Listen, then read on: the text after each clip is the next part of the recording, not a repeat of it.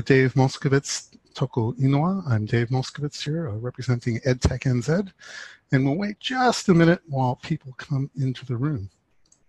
Thank you very much for uh, coming to be with us on a Friday afternoon. Uh, it is drinks o'clock at the end of uh, what's been a really interesting week, uh, Tech Week. It's been a fantastic week this week. Uh, I don't know about other people, but you know, just the events that I've seen and been part of really indicate that the tech scene in New Zealand and EdTech in particular are really alive and well and doing amazing things. So um, while we're waiting for people to come into the room, um, I'd like to tell you a little bit about EdTech NZ. Now, our purpose is to empower learning with technology that embodies our unique Aotearoa New Zealand identity. EdTech NZ is part of the New Zealand Tech Alliance, and our members comprise large and small companies from right across the sector and up and down the Motu. And if you want to play an active role in helping improve Aotearoa New Zealand's education technology scene, then do join us. Um, you can sign up at edtechnz.org.nz slash join or just go to the homepage at technz.org.nz. Um, you can join our mailing list for free so you can be part of our community and uh, keep up with what's going on. We also have meetups in uh, Wellington, uh, Auckland, and Christchurch. So um, if you want to join one of those meetups and interact on a somewhat irregular basis uh, with your EdTech peers, uh, we'd really love to have you along to those. Now, my co-host today is Truman Pham from the uh, Mind Lab. And um, how'd you like to introduce yourself and tell us a little bit about yourself in the Mind Lab, Truman? You need to unmute yourself first, though. Oh, good. Hello, everyone. My name is Truman Pham, and I'm an online educator at the Mind Lab. Um, I'm ha very happy to be here to uh, be the co-host of this event. Thank you very much, Dave, for this series. Um, thank you. Cool. So thanks very much, Truman. And um, today we're talking to six really exciting companies based right here in Aotearoa. And they're doing cool stuff that's transforming the face of education in New Zealand and as you'll see around the world as well. So today we'll be talking to uh, Lane Litz from Chatterize, who are helping young Chinese English learners improve their pronunciation and grammar. We'll talk to Megan Mathey from Digital Badge Ed, who provide easy to use digital badges that improve learning and life outcomes for kids. We'll be talking to Judith Cambridge from Accounting Pod, who are giving accounting students real life accounting experience. Uh, Rodney Tamblin from OB3, Ocean Browser, who provide course authoring and collaboration tools for higher education. Um, Kyle Webster from LitMaps, who are using network science to accelerate the expansion of what we collectively know about the world. And we'll finish up with Ali Mazra from ADRI, who are restoring Arabic as a first-class language of scientific research and discourse from New Zealand. Uh, these founders are really pushing the boundaries of what education in the digital world can be and what it must become. Now, each company has prepared a brief pitch video, which we'll show in turn, and that will be followed by about five minutes of questions and answers. You can answer your questions using the Q&A talk balloon at the bottom, uh, at the bottom of your screen and um, Truman will be uh, collating those questions and feeding them to the presenters. So don't forget, please pop your questions into the Q&A box um, as we go along and um, ask really interesting uh, questions of the presenters today. So let's get started and we will uh, start today with Lane Litz from Chatterize. One moment. Your Good. child spends so much time in English class, and yet, without access to an English environment, they have little opportunity to speak. Without speaking practice, children lose confidence and are unable to improve vital communication skills. When they grow up, these same kids are scared to speak out and lack confidence in international environments. We need a solution that empowers all children to speak out Welcome to Talktown, a small American town waiting for your child. The citizens of Talktown are always ready for a daily chat. Howdy. Hello. Hi there. Hang out in Talktown for just 10 minutes a day. Each conversation is carefully crafted to replicate real-life scenarios to supercharge your child's spoken English.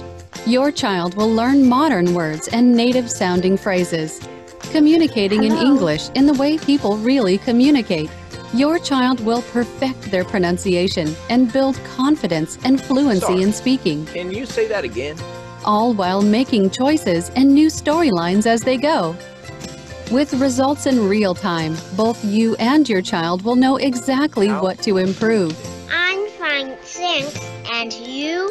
Loved by thousands of kids and approved by just as many moms. Your Talktown friends are waiting to meet you. See, See you, you soon. soon.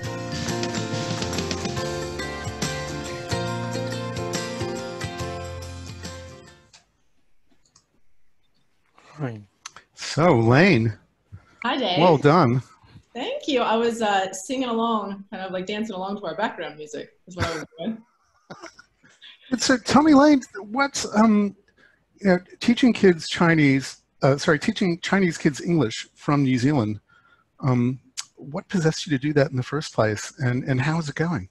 Yeah, you know, sounds totally crazy, doesn't it? But the truth is that I and my co-founder, Belisa, we actually spent the last 10 years living and working in China, and specifically in English as a second language learning for kids at what is now the EdTech giant VIP Kid. So we started at VIP Kid as really founding leadership.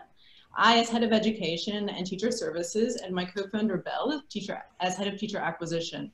And at VIP Kid, what we learned is that the number one reason for the phenomenal growth of that company is that VIP Kid connected Chinese students to uh, North American teachers. And the number one reason for purchase was absolutely speaking practice. But there was a big problem here, which is that the premium price point of 25 US dollars, which is almost 40 New Zealand dollars for 25 minutes, actually uh, really prohibits children in third through fifth tier Chinese cities and a lot of kids around the world from using the service, leaving them in the situation they still have no ability to improve their fluency and confidence in spoken English.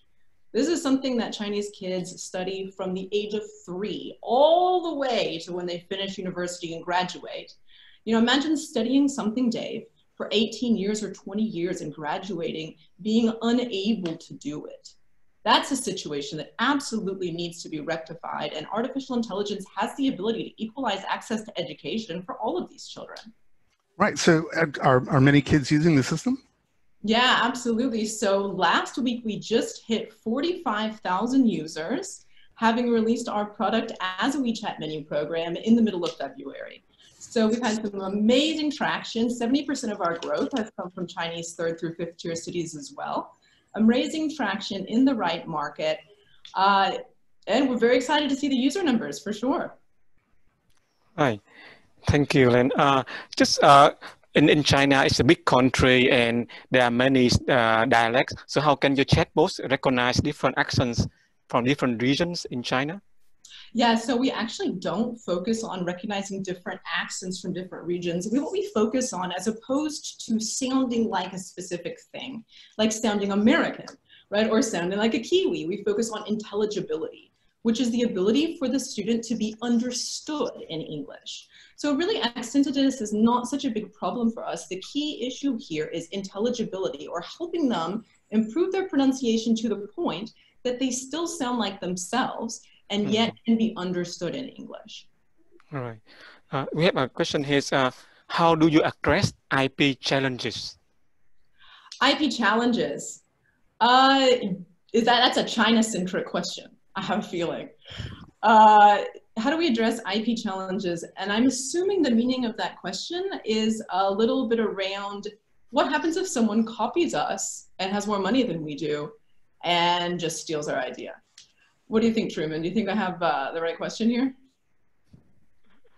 Well, uh, I think um, does that happen? Oh, Yeah, yeah, sure, it's happened, right? Absolutely. So, uh, our unique competitive advantage really is that we are an international team.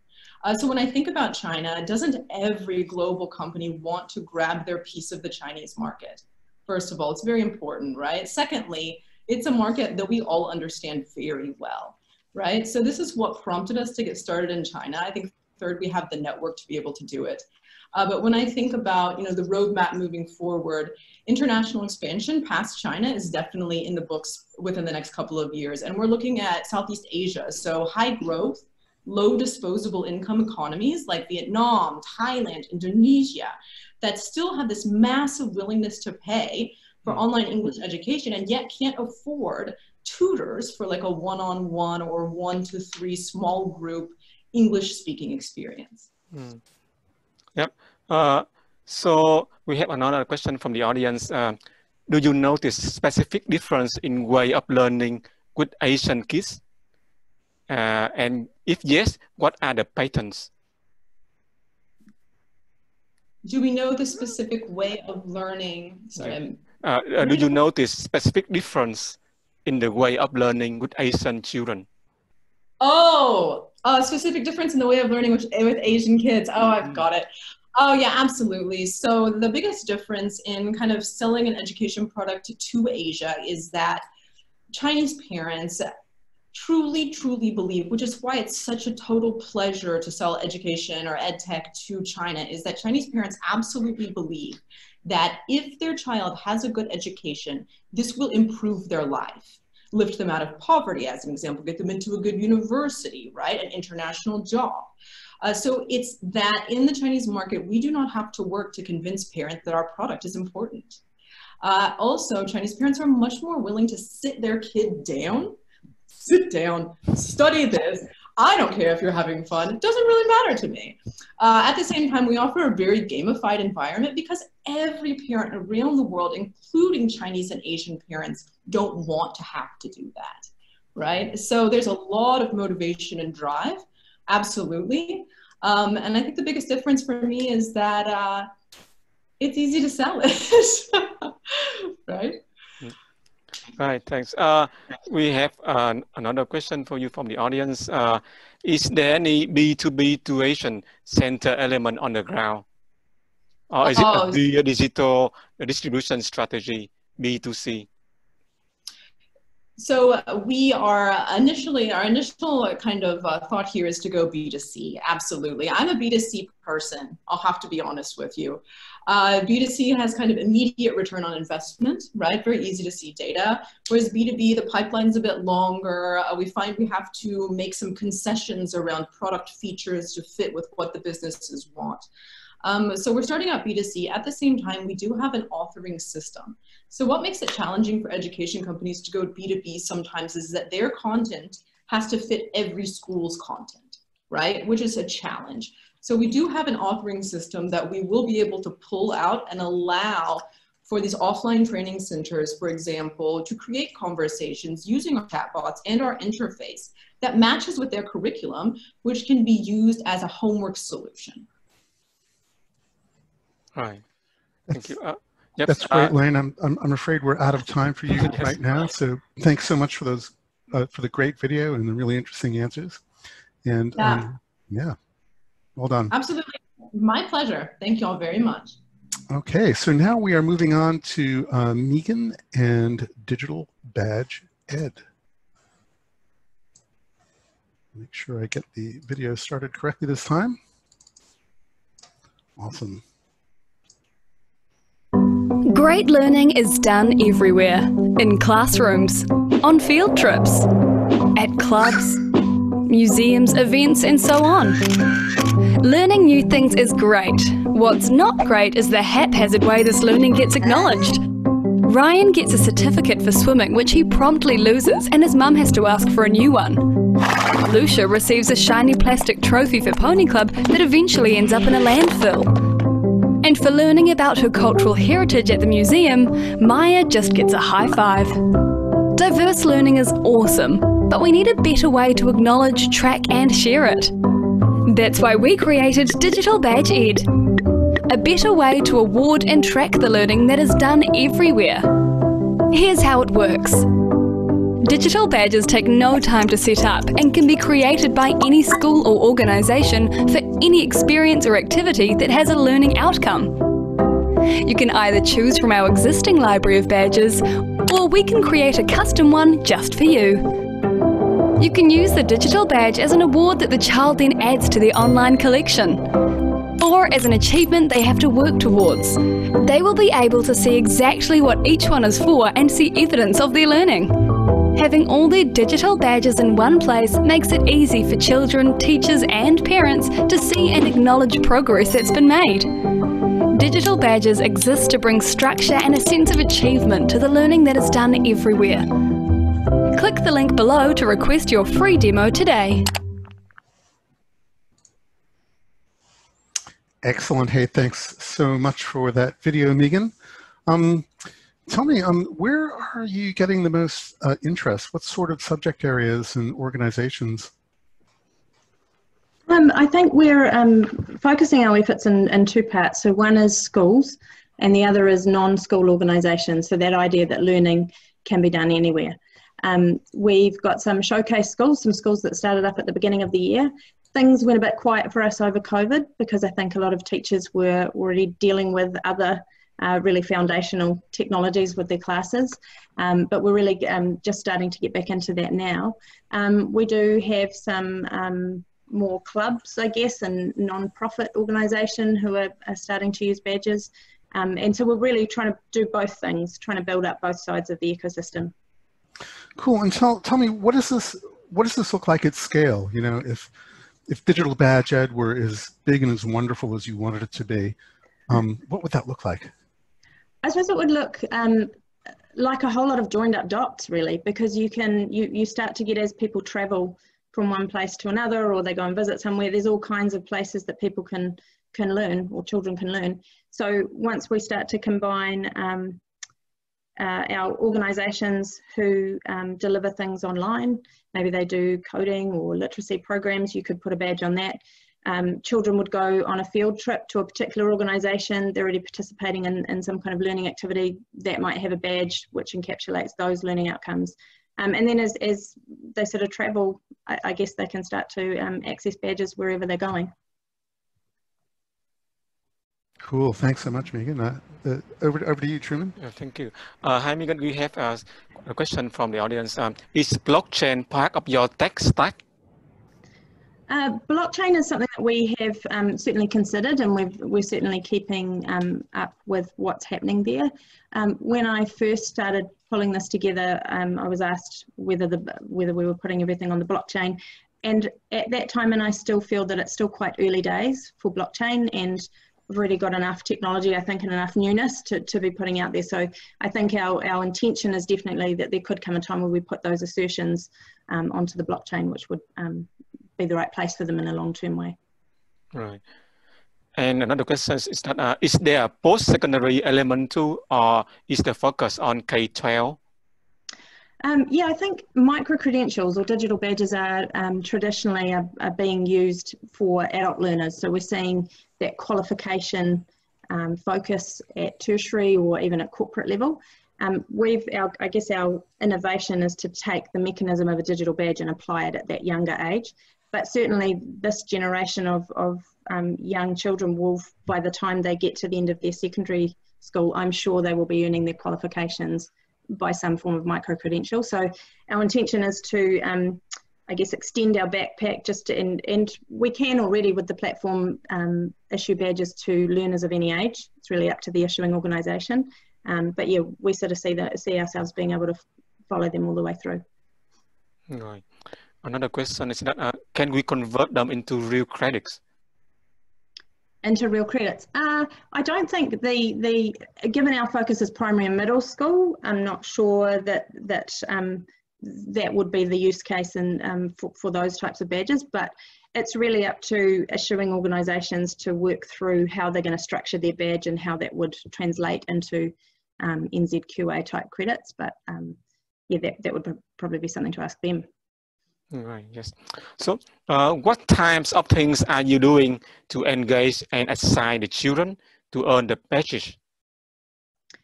What types of things to engage and excite them? I guess yeah. um, the interesting thing is that the mechanism of a digital badge, it's visual, it's collectible, so it already appeals to kids.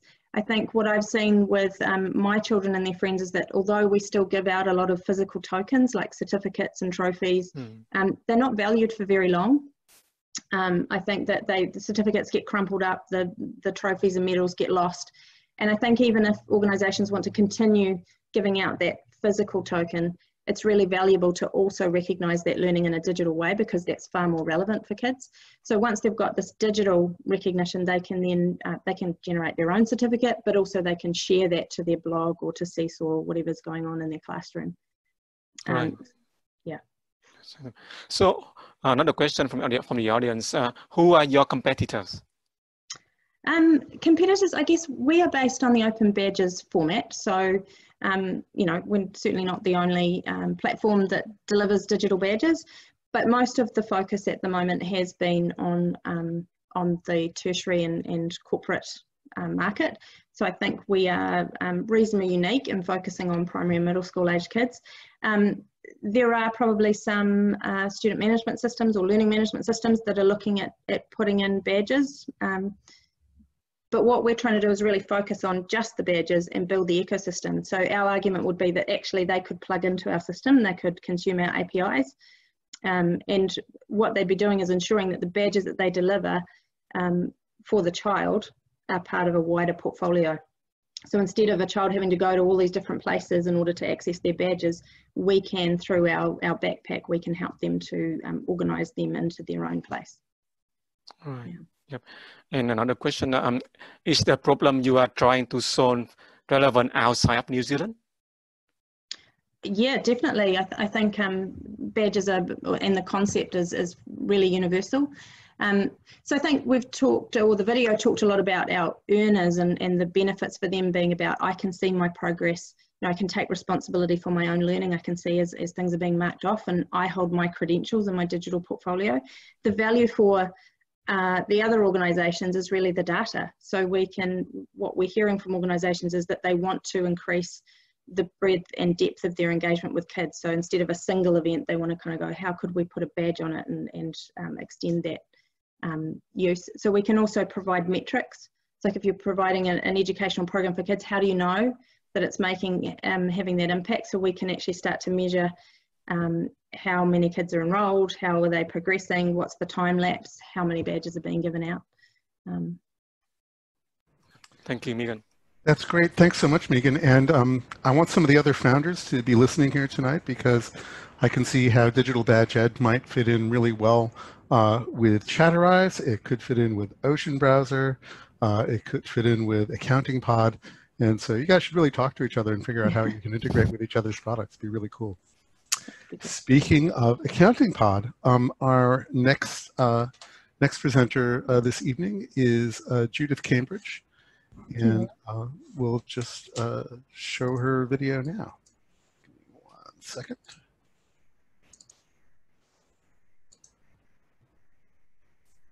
Kia Accounting Pod.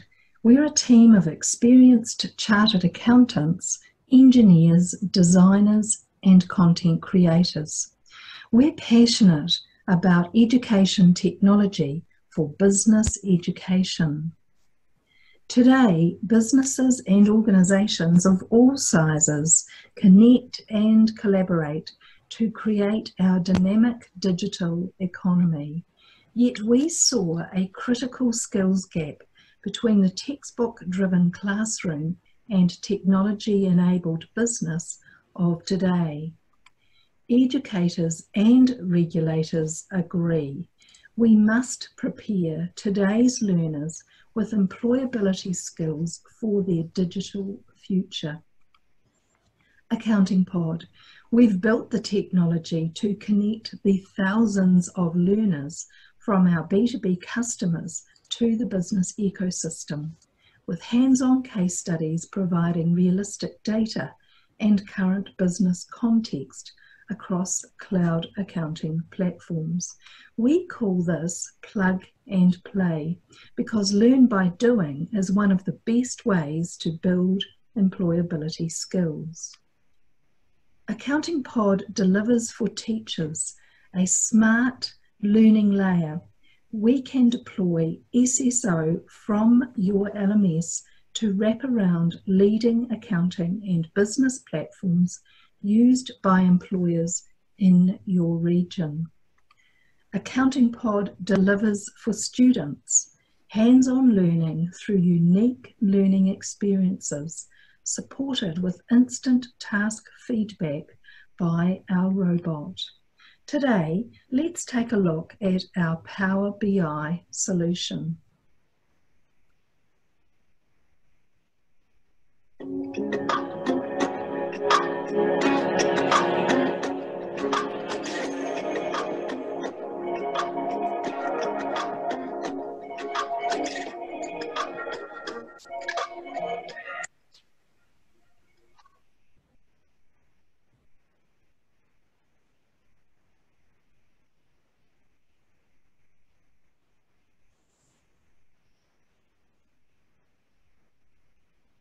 We're a young New Zealand EdTech delivering hands-on learning to our educator users globally. If your institution's learners need employability skills on leading cloud accounting and business platforms, get in touch with us for a demo and a free trial. Ngā mihi. Thanks so much for that, Judith. Uh, great video and um, really is a really interesting um, proposition. So tell me, Judith, how do you measure the um, education outcomes that you're achieving um, with the students that are going through Accounting Pod? Um, do they like, you know, do you have a certain percentage of them that uh, achieve employment or uh, increase uh, job earnings or better job skills or how, how do you measure the outcomes? Uh, for most of the deliveries, Dave, we are actually uh, setting up feedback sessions. So we're very much at the stage of a feedback loop uh, for the student uh, satisfaction. And then in terms of where did they go to from there, um, we are, because we're a B2B model, uh, we work with the university who is looking at um, collecting those metrics themselves and uh, have their own internal uh, feedback loop. So they'll liaise back with us as well uh, when they are wanting to run a session and, um, and let us know uh, where the students have got to. Yeah. Thanks, Judith. Over to you, Truman. Nice. Um, uh, there's a question for you from audience. Uh, Judith, what excites you about accounting education? well, um, interestingly, uh, many students have thought that accounting is boring, right? Uh, and in the world that I work in, it, it's far from that because today, with the robots, uh, creating uh, business solutions and smart um, reporting, uh, i.e., you know, the use of a platform like Xero and others that gather around it, over 400, right? How can the world of business and accounting be boring? Right? It, and it needs to engage uh, new minds beyond uh, bookkeeping, beyond journals.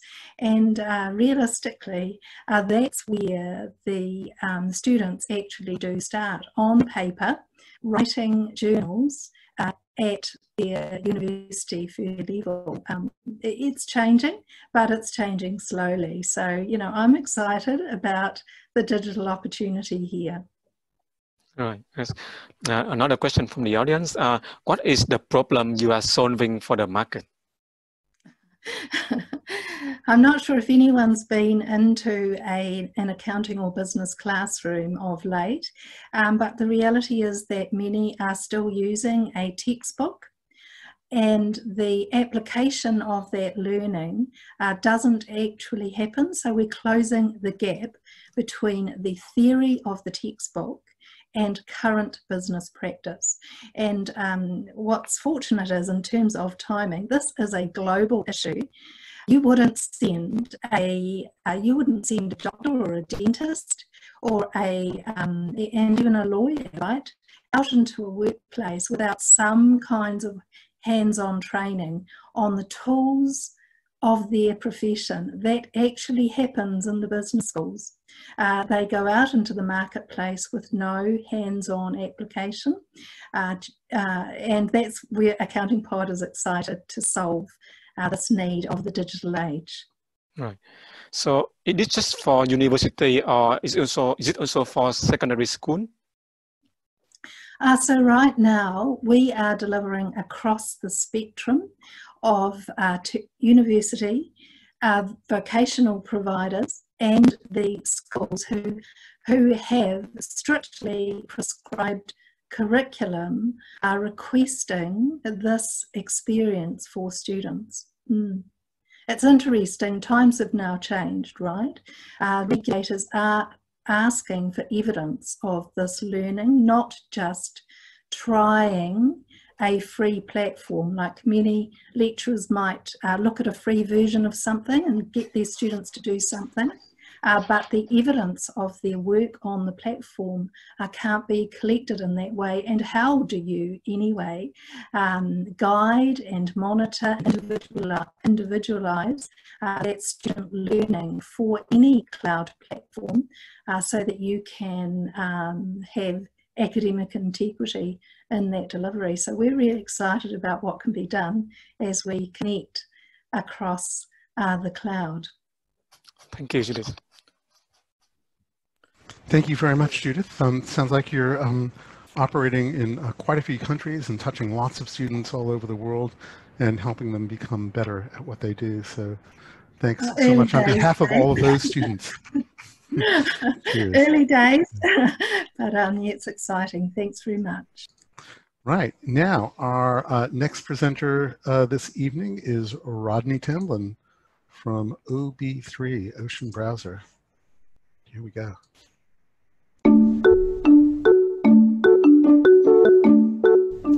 Gloria needs to prepare an online class for Monday.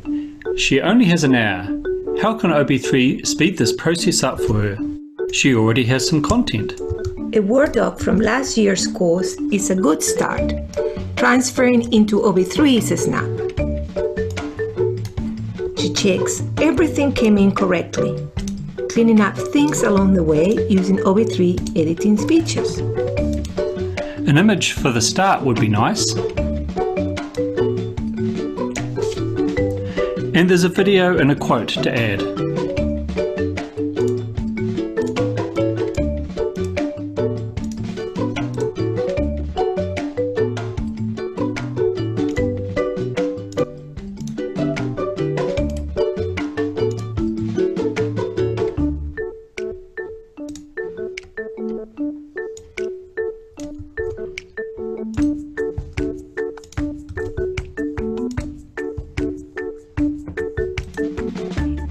Of PowerPoint slides have useful content.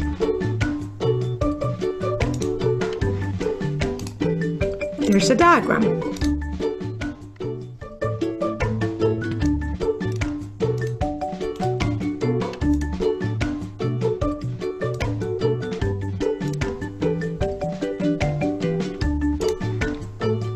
And a table.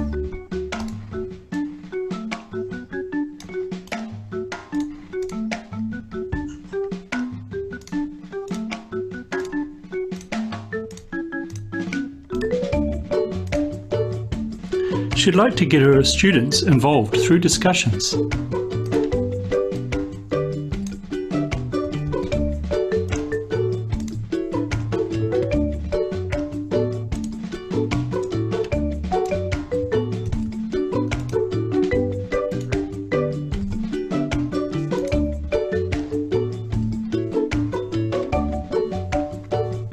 Finally, there's a course feedback form.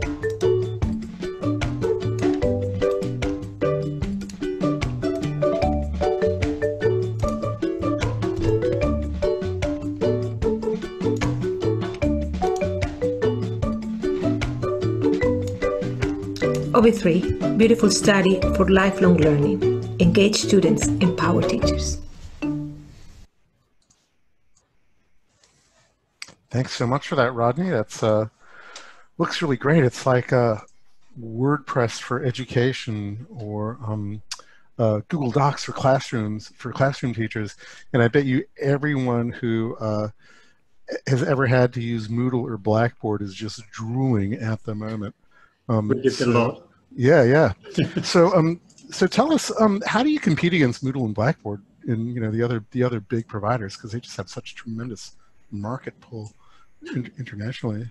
we tend to find that if anything, they're actually uh, a source of business because, as you say, they're they don't provide a very good experience for uh, for they're not very engaging or useful for the teachers in terms of the authoring process, but they're also not a great place to collaborate. So being able to support different types of co-creation and collaboration activities and discussion activities um, really opens that scope up. So the uh, the video today is sort of showing the authoring side of thing, but that's as much for the students as part of their creative process as it is for the teachers as part of their process. And I should mention I have my co-founder uh, Gloria Gomez, who's the, the designer of the product here with us as well tonight. When, when Rodney talks, hello everyone, um, when Rodney mentions co-creation, uh, this, this idea, is the philosophical idea underpinning OB3, we started selling to, into medical education and what we noticed with medical educators is that at some point they are teachers, but also they go back to become students in the span of their professional career. So our first clients, the people we started working with, um, uh, these are people that are lifelong learners.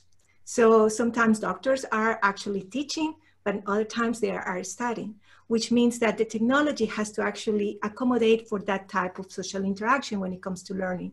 So OB3 documents, actually, we have one place for teacher and students to work together, and they can change the role in the document. Uh, also, what we notice in the process is that uh, when students are contributing discussions embedded in the document, the discuss discussions actually help teachers to modify the way they present the lecture, which means that sometimes even the lecturing material is less and the student contribution is more. And that enhances the, the student-centered part of our, what our technology empowers. Yeah, so mm -hmm. that over time courses evolve. They might start off very curriculum driven and then three or four years later, they've moved more towards a collaborative model. Mm -hmm. Great, thank you. Uh, we have a question, uh, several questions from the audience.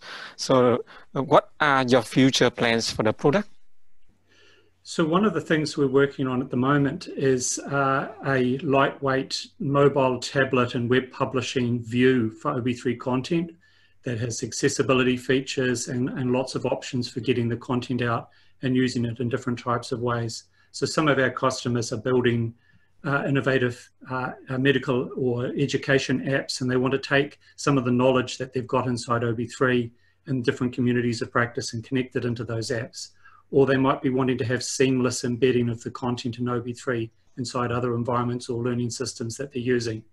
So we're providing that, uh, some of those features. And the, another area that we're working on, I'll let Gloria mention, which is around the coaching side of um, coaching for performance? Uh, yeah, but that's early stages in around uh, um, learning analytics. The idea is that to develop a type of environment uh, that connects with OB3 where uh, the system kind of coaches people into their learning process or their teaching process, you know, but yeah, early days of that is coaching, you know, coaching for study performance. But uh, yeah, we are working into that as well. Right. So the audience like the music in your video. and uh, the, another question from the audience is, are you working closely with any major publishers? Uh, pub, uh, I have some connections uh, into publishers um, through uh, an accelerator program we went through in, in, in London a few years ago.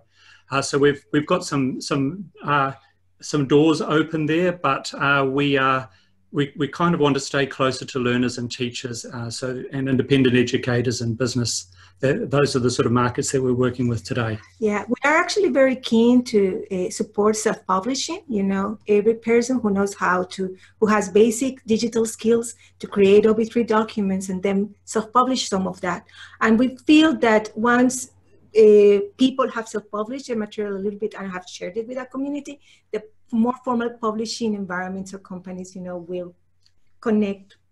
We will find a way to connect with them. But mm-hmm. we are very keen is to empower every person because if you come to think about it, most of us are teachers at some point and also learners at some point. So that's the lifelong learning cycle. Everyone is a teacher, everyone is a student. And, and at the moment we are focusing in formal education, but what we are seeing, there is an interest for informal learning and also for non-formal education as well. Thank you, Rodney and Gloria. Uh, there's uh, several more questions, but I think we're running out of time. Uh, thank you. Yes, thanks so much, Rodney. thank you. Yeah, no, it's a your system's come a long way over the last few years, and um, and it sounds like your customer base has as well. Really great to see. So thanks again for presenting tonight. Now, our next presenter is Kyle from LitMaps, helping us visualize human knowledge. Capacity to educate ourselves is fundamentally reliant on tools that allow us to uh, discover and navigate high quality information. We can see from existing technologies uh, like Google search uh, and Wikipedia uh, the enormous potential for these technologies to increase uh, educational opportunities around the world. We need these technologies because the scale of information that we're trying to make sense of is so large uh, and increasing so rapidly. Um, we can look at one example of this uh, in the uh, scientific research literature, that is, scientific studies published over time. Uh, this is a map of uh, scientific research published between the year 1400 and 2019. Uh, and we can see that this is very much on an exponential curve and is not slowing down anytime soon. Uh, this uh, represents uh, 100 million scientific publications. Uh, and so that's a um, very significant challenge to navigate, both if you are uh, trying to teach um, an area, but also if you're trying to add new knowledge, in that you have to understand what's happened before um, so that you're well placed to make a new contribution. and so uh, one uh, way to try and tackle this problem is through new information technology tools. However, we have to be careful when we're doing this um, to uh, navigate risks and biases, uh, which we're starting to see in machine learning driven tools, for example. LitMaps approaches this problem through network science, uh, more specifically, in this case, uh, the citation network. So while there's 100 million articles here, uh, there are over a billion citation connections uh, linking ideas across time. Uh, and so LitMaps is building uh, tools to help to navigate um, the science literature from that network. Uh, to give one example, uh, we have completed a um, combined keyword search and network traversal search engine. Um, and what that is, is you start with a keyword search, uh, you then take uh, good outputs from that, good results from that, and bring them into a network search process that allows you to navigate the citation network and identify more and more relevant uh, research to you, um, giving you better results um, and allowing you to contextualize um, the information that you're taking in. This is part of a broader vision to uh, empower people uh, to better understand uh, that huge body of information and its potential to add value uh, to the lives of people all over the world. Right. Thanks so much for that, Kyle. Hey, um, uh, just reminding people to enter their questions into the Q&A box. Um, tell us what's the most surprising thing that you've learned in one of your deep dives through the literature uh, as you've been going through LitMaps? um, sure. So uh, in the LitMaps team, we come from different backgrounds. Um, so my background is as a scientist, um, but there's uh, one of our co-founders who's um, got a design background um, and also works on some of our front-end development. Um, he uh, decided that um, for all of his testing, his area of interest would be pizza.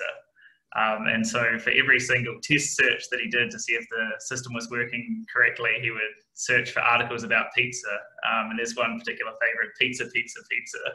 Um, so he's become an expert in that domain now and understands the um, development of pizza science over time. so um, I found that people bring whatever interest they have to the system and explore it in that way. Yeah, quite bizarre. yes, thanks. Over to you, Truman. Yep, uh, thank you. And, uh, Kai, Kai uh, there are several questions from the audience. Uh, what is your business model? What's that business and, model? Yep. Yeah, sure. Um, so we uh, are selling, in the first instance, um, directly to researchers. Um, so um, there are a lot of products out there that serve the institution, um, so a, a, university or a um, research centre our um, sort of value set and our um, path to market is to deliver value directly to the researcher, particularly postdoctoral level researchers, so sort of scientists who are just sort of starting out on their career, and they've got enough sort of control over purchasing decisions to chuck something for you know six, eight hundred bucks on the um, department credit card. Um, so that's the user that we're targeting, and that's the, the way we make money. Yeah, and it's a SaaS business. Yeah. Thank you. Um, can you describe how uh, LitMaps could help people make sense of the huge amount of research happening? For example, uh, research about COVID-19 at the moment. Yeah, sure. Um, so COVID-19 is an interesting example because uh, there's a huge depth of coronavirus research that's taken place. Coronavirus is actually quite a broad class of viruses. Um, and so the question is, can we leverage that huge amount of existing information to address this very immediate uh, problem at the moment of um, building solutions for COVID? Um, and that can enter into a number of different domains. So as a researcher, you might be interested in the epidemiology, you might be interested in the structural biology, or you might be interested in, say, vaccine development. Um, what the product that I demonstrated uh, in that video does is it allows you to take that broad search and begin to drive the search process in an active way. So by your selections, um, you are uh, sort of driving it towards one of those areas. Um, and you're doing that in a way that comes without some of the problems that machine learning driven recommendation engines bring in, things like bias um, uh, that is not transparent. Uh, so that's one way that it can help. Mm-hmm. Right. So is it difficult to sell to academics? And how can your company change the work for the better? Uh, is it difficult to sell to academics? Is that the first question? Sorry. Yeah, yeah. Is it, is it difficult yeah. to sell to academics? And how can sorry.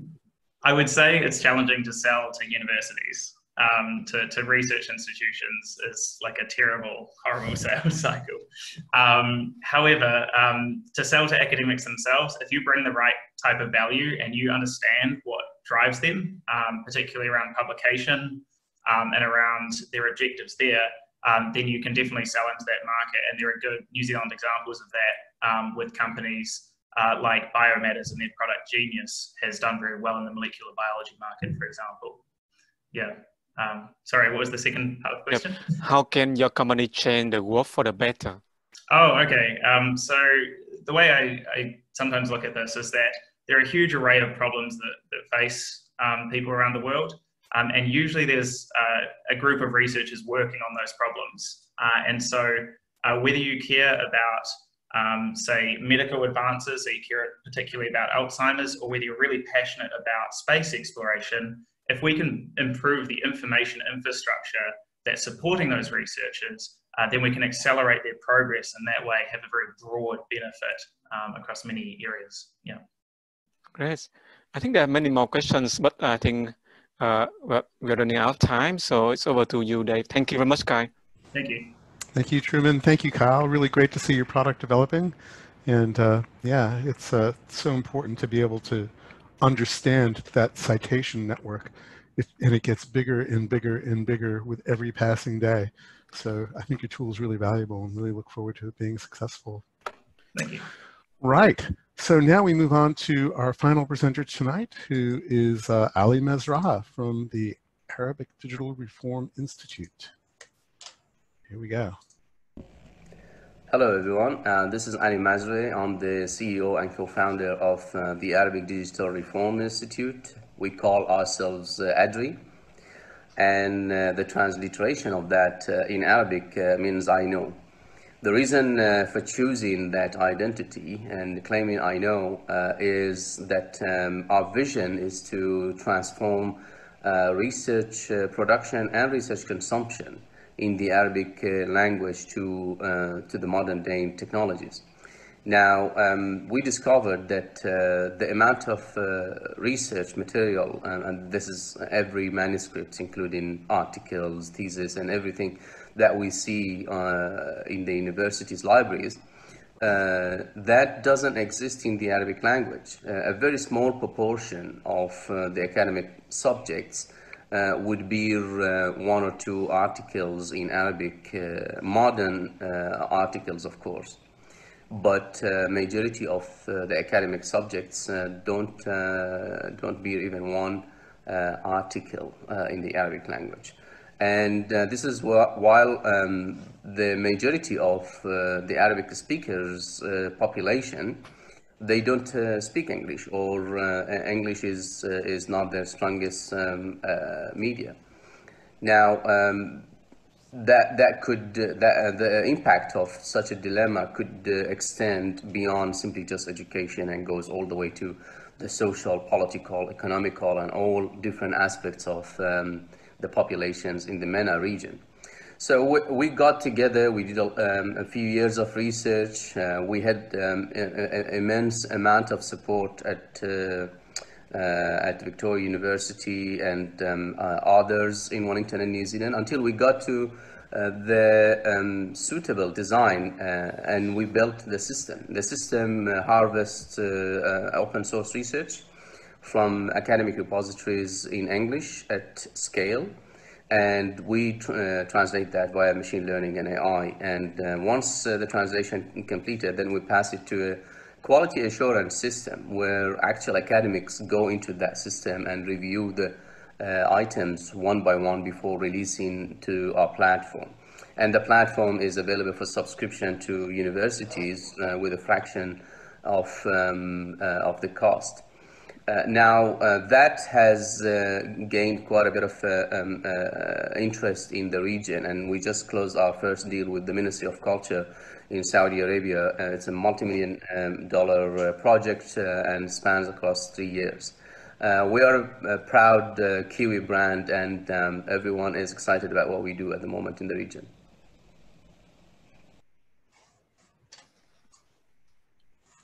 Thanks so much for that, Ali. Uh, what an exciting time to be talking to you uh, as you're uh, as you're closing your your first major deal. Um, Thank you, Ali. Tell us uh, what's the New Zealand connection? It seems like New Zealand driving uh, the Arabic language in the Middle East. Yeah, uh, yeah, absolutely. This is this is the most common question I get in the region as well, particularly with our um, interest parties and stakeholders. and the answer, to be honest, Dave, why not New Zealand?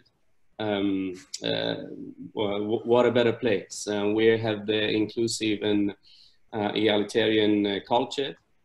We have the talents, uh, particularly, and I'm a production of myself and the rest of the uh, co-founding team, production of a product of that system. So um, I think it's the modern day that there's no borders, particularly not physical and not even the in the identity um, uh, perspective. And in New Zealand, we have the um, blessing that um, we care about the others and we care about um, diversity particularly. So kind of, um, I am from, uh, from uh, the region originally, but I'm a proud uh, citizen in uh, New Zealand too. And uh, kind of like that, I created the um, connection in my mind and my end but the support that I, uh, the overwhelming support that I received in New Zealand um, got us to this point at the moment as well. So um, tell us a little bit about your intellectual property. I mean, you know, machine translation is done by, you know, Google and Microsoft, and it seems like everyone's working on a, on a, on a translation engine. What's, what's, the, what's the secret sauce that Adria? Absolutely. So I have to uh, definitely um, emphasize that uh, our translation at the moment is in, in uh, partnership with AWS. We went on and created our own algorithms and created our own uh, translation engine. But uh, frankly, um, the amount of data required for getting competitive in that sense to the rest of uh, the providers in the um, in the in the market uh, was quite difficult for us as a startup. So we just partnered with AWS on that particular part. However, uh, there is a, um, a plethora of uh, different uh, systems and algorithms that we uh, implemented uh, around the translation engine, particularly to shorten the translation cycle. Um, as you could appreciate, um, simply running a Google Translate will show how much work is required beyond simply just the translation. And what we created, we automated a lot of um, those particular editorial tasks but also um, the uh, integration, the formatting, the visual side of, uh, um, of uh, a whole operation, that we could uh, confidently say um, that the whole translation cycle is now in our systems is between 90 to 96 percent lower than manual translation as well. Great. Thanks for that. Over to you, Truman. Yep, uh, we have a question for you from the audience. Um, have you ever considered switching to an NGO as opposed to for-profit company? Absolutely. So to be honest, we started uh, as a um, as a, um, R&D um, NGO uh, project. We didn't really want to um, go commercial because we we do feel the impact is quite significant, and we got a, a, an immense amount of interest and support. But um, uh, I think um, uh, my uh, NGO panelists uh, in, in here as well could acknowledge that. And, and uh, that is the challenge of sustaining NGOs operations, particularly such a global uh, operations. We're running from New Zealand, targeting a, a region of 17 hours flight distance. Uh, by itself is quite uh, challenging. So uh, we we felt it couldn't really sustain itself in the long run. We we, we were um, as a, uh, social enterprise and R&D uh, um, institute. That's why we call ourselves institute. Uh, for the first three years until later on, we felt, okay, let's um, uh, give it to the um, to the commercial world and uh, try to sustain it. And and actually, our pricing is uh, to that to that end particularly as well. It's very constrained with the impact that we're making. Right. So is there any ambition to expand to another language beyond Arabic? Um, absolutely. So the systems um, we created, uh, they have the applicability to um, be utilized in every uh, uh, what we call uh, language pairs.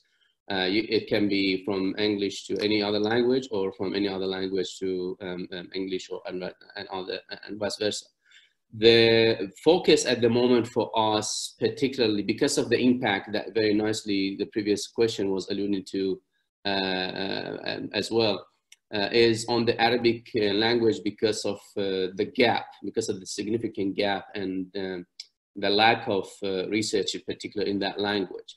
However, um, we, we do have in our plans and strategy for the future that we might be thinking of licensing the technology and uh, the IP around it to other languages, or even um, uh, maybe we have the, the time and uh, the resources to actually do it ourselves also for other languages. But this is on the long run as well. All right. Thank you very much, Ali. Uh, thank you very much, everyone, for asking the questions to the presenters. Uh, it's over to you, Dave. Uh, thanks so much, Truman. So um, I think that wraps it up. Uh, thanks so much, Ali, and to uh, all of the presenters uh, this afternoon. Um, as I said at the beginning, it just goes to show how vibrant and interesting uh, the New Zealand education technology space is. Um, we can all help each other. Uh, we may be a team of 5 million New Zealanders, but it seems like, you know, we're a team of a couple of hundred ed techs. And, um, you know, it's great to be out there celebrating uh, what we've achieved together and what we're all doing in our interest, uh, interesting stuff in our own spheres.